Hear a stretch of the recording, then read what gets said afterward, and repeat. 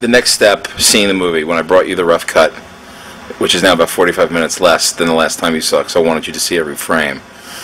What was your first reactions that day when you saw the movie? Well, very few people in life are uh, fortunate enough to, to climb aboard the time machine. And it's a time machine for me.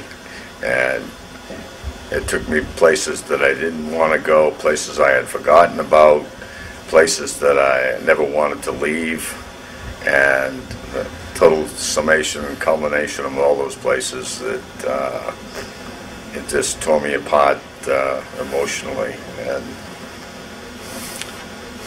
In particular, what, what part of the film or, or part of the, you know, was it kind of the story itself, the, the, the the, the portrayal of, of Johnny portraying you, the portrayal of the people that were in your family, from Ray Liotta playing your dad to your mom, all that kind of stuff. Like, what was what really hit it home for you?